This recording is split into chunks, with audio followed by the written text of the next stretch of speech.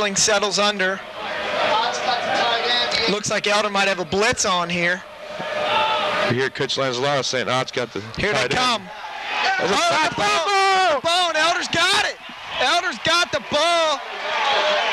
29 to Castro has got it. You got to make a the statement. look from the run left, right, with Jason out there. They're going again. Touchdown. No, touchdown. And Sowers gets in over the mooses of the offensive line. A little blue for the Bombers. I would be too if I was a Bomber.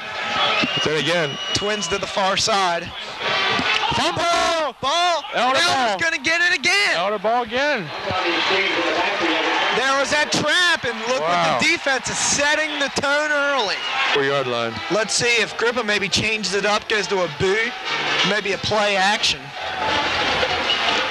Ryan calling the signals. There it is. Looking for Egan. Touchdown. Oh, and a What a spectacular catch. catch by Pat Egan. But if a, if an offense continually does that, it will fall apart. Arling maybe looking to run the ball here. There's Oh, the trap, was that? and there's nowhere to go. and The ball might be on the ground. Elder ball. Elder oh, Made ball. another. Oh, play. boy. What can you say about this defense? Wow. Elder.